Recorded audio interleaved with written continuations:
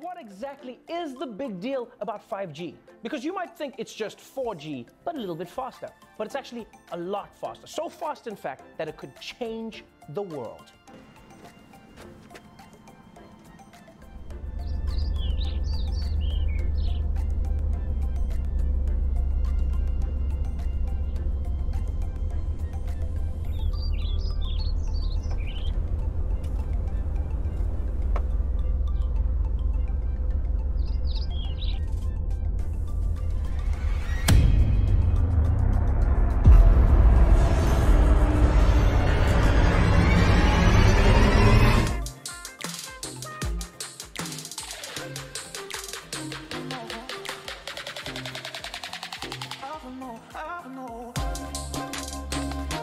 You are watching Tinker TV. Why? Why are we talking about 5G? What's the hype all about? Well, between Internet of Things and smart cities, we can expect half a trillion objects to be connected by 2030. From street lamps to autonomous cars, factories, and even clothes. The overwhelming majority will rely on 5G and its successor, making wireless technology essential to our daily life, our security, and economy. So, what is 5G? The industry consortium setting standards for 5G is 3GPP. It defines any system using 5G NR or 5G new radio software as 5G. This definition came into general use by late 2018. In layman's terms, 5G is the fifth generation of mobile networks, following on from 2G, 3G, and 4G. But while the move forward from 3G to 4G was all about speeds, 5G is about much more. We have been told that 5G is extremely quick, but it's also very stable and reliable, and with characteristics that will allow it to make it the underlying communication networks for connected cars, vehicles, devices, virtual reality worlds, and robotic systems. But why can't we be satisfied with 4G? The fourth generation of mobile connectivity had started to make waves in the late 2000s. 4G had made mobile internet speeds up to 500 times faster than 3G, and this allowed support for watching HD TV on mobile, high quality video calls, and fast mobile browsing. The development of 4G was a massive feat for mobile technology, especially for the evolution of smartphones and tablets. 4G is quite common throughout the world now, but as it normally happens, things are about to change again. The Internet of Things or IoT is now a real possibility, and 4G will not be able to manage the huge number of connections that will be on the network. It is expected that there will be more than 20 billion connected devices by 2020, all of which will require a connection with a great capacity. This is where 5G comes into force. The new world of 5G technology promises to transform our lives, connecting millions of devices and enabling everything from driverless cars to smart homes. Up to 20 times faster than the 4G most of us use now, 5G's lightning fast technology will accelerate and interconnect everything. So, what makes 5G so different from 4G? Simply said, 5G is widely believed to be smarter, faster, and more efficient than 4G. It promises mobile data speeds that are far outstrip the fastest home broadband network currently available to the consumers. With the speeds up to 100 gigabytes per second, 5G is said to be as much as 100 times faster than 4G. The key differentiator between 4G and 5G is going to be the low latency. Latency is the time that passes from the moment information is sent from a device until it can be used by the receiver. This can enable a surgeon to perform a surgery on someone using high precision robots from a completely different city or country. As now the time taken for the information on the hand movements of the doctor can reach the robot almost instantaneously. Self driving cars and vehicles, along with robotic systems, too will benefit immensely from these low latency networks.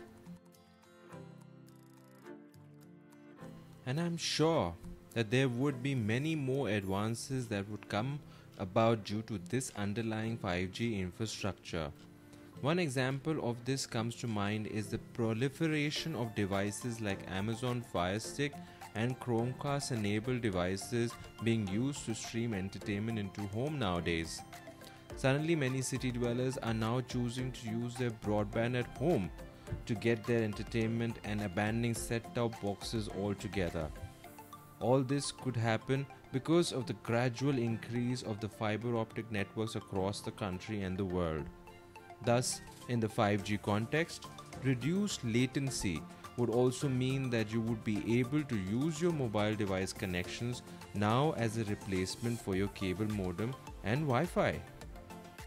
Imagine being able to watch a 4K video online almost straight away without having to experience any buffering time, or being able to play games online almost with no lag. Cloud gaming services like Google Stadia would really be able to catch up to its competitors in this 5G environment, as the need for consoles would reduce. It is also believed that 5G will be able to fix the bandwidth issues plaguing our current networks. Currently, there are so many different devices connected to 3G and 4G networks, and these networks do not have the infrastructure to cope effectively. 5G should be able to handle current devices and emerging technologies such as driverless cars and connected home products. But simplicity ends there because there are three different versions of 5G that are being built. The networking architecture of all these three versions will eventually work together in the coming years, but probably the version that we are going to be getting in the next few years is not super fast. Here are the three versions of 5G low band 5G which is around 600 to 700 MHz range.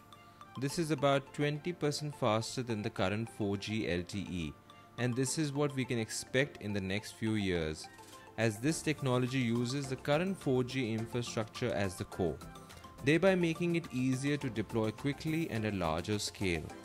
An example of this is the T Mobile network in the USA.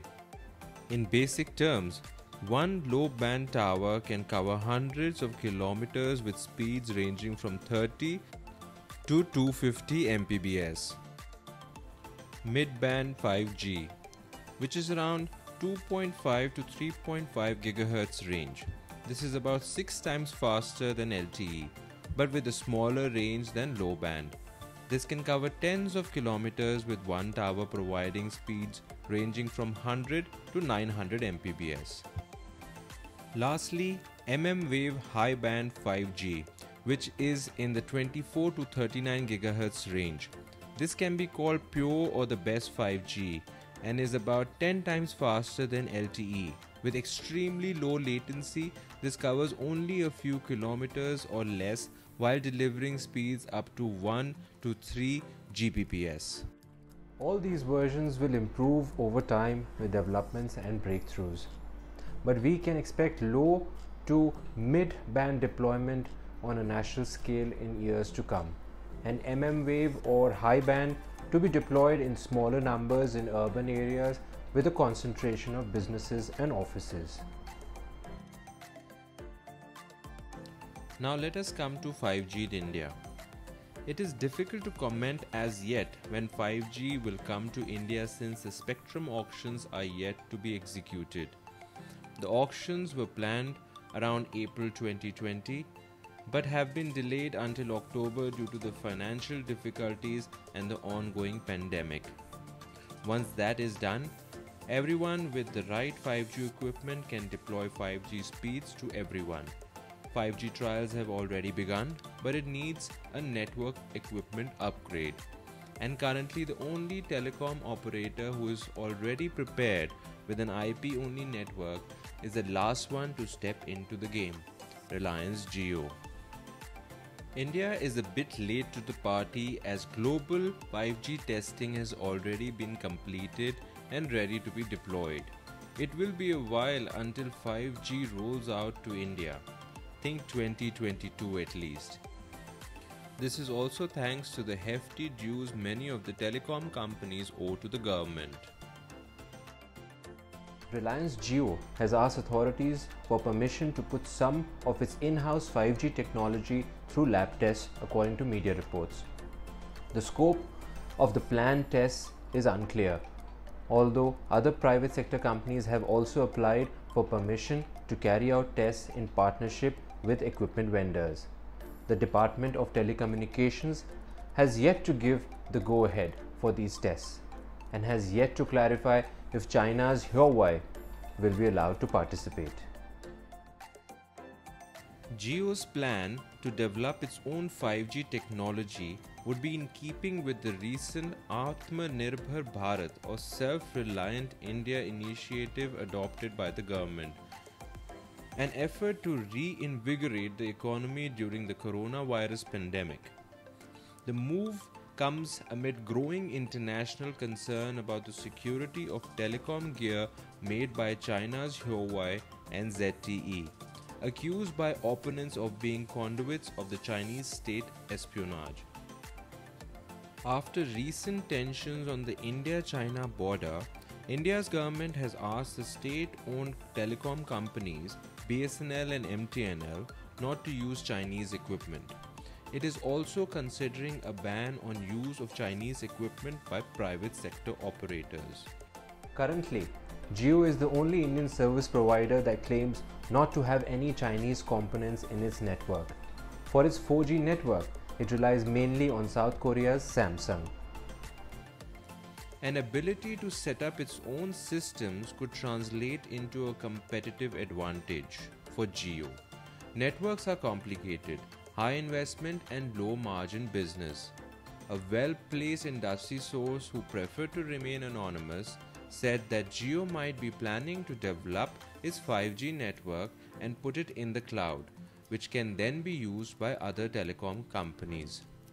Jio has a full IP network, which makes it easy to set up a 5G network when compared to the other telecom companies that have legacy networks, said the source.